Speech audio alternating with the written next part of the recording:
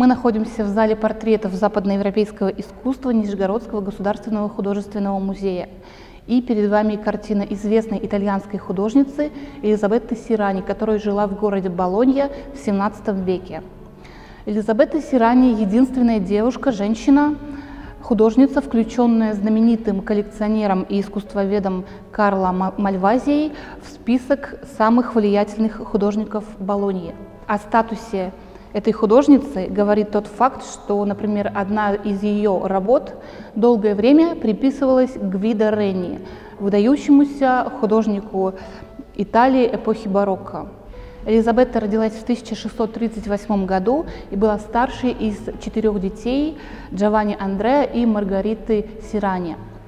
Э, девочка росла в семье художника, ее отец был живописцем, кстати, учеником Гвида Ренни, и с детства она тоже рисовала. Однажды друг семьи Карла Мальвазия увидел ее рисунки и сказал, что ей совершенно точно необходимо заниматься живописью.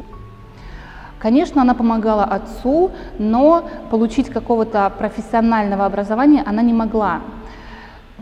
Женщин в 17 веке не брали в учебные заведения, кроме того, э, женщин-художников не воспринимали всерьез и они не могли самостоятельно брать заказы, они не могли заключать договоры. И даже если женщина занималась живописью непрофессионально, то она не могла изучать обнаженную натуру.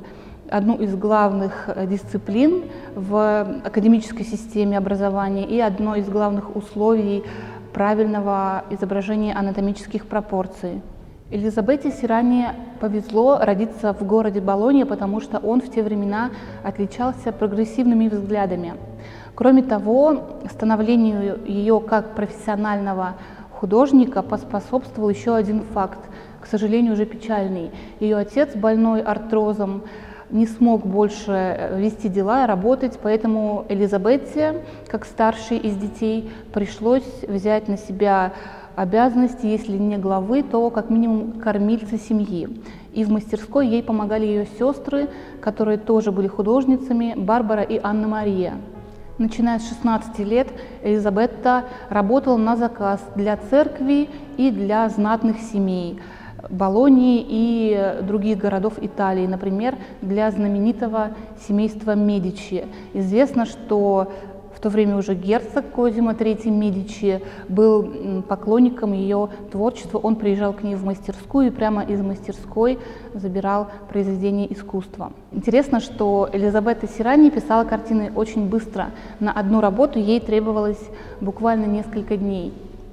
И она устраивала такие публичные сеансы, где люди могли смотреть, как она работает. Целью было, конечно, желание доказать, что картины пишет именно она и что она делает это очень быстро. Елизабета Сирани стала не только признанным и уважаемым профессионалами, мастером, художником, но она открыла еще и свою школу для женщин. Это было, конечно, не профессиональное учебное заведение. А девушки приходили к ней в мастерскую и учились у нее рисовать и писать маслом.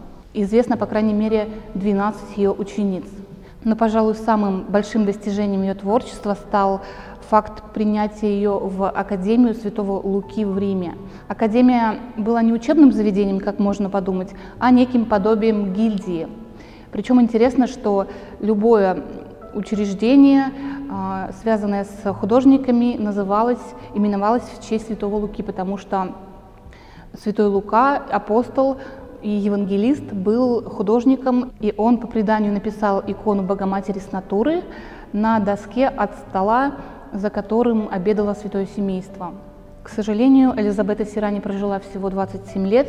В 1665 году она скоропостижно скончалась от болезни внутренних органов.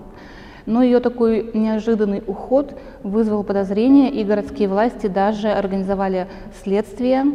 Главной обвиняемой в отравлении стал ее служанка Лучия Таламелли, которая уволилась за несколько дней до смерти художницы.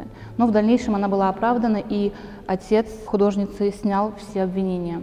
Элизабета Сирани была захоронена в базилике святого Доминика в городе Болонья, а траурную речь на торжественной мессе, которая называлась «Кисть, облитая слезами», произнес знаменитый болонский поэт Луиджи Пичинарди. А, на могиле был установлен памятник, изображающий э, Элизабету Сирани с мольбертом и кистью в руке.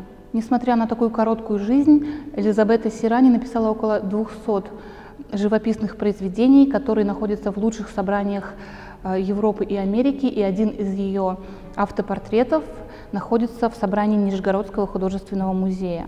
На картине художница изобразила себя в окружении двух девушек.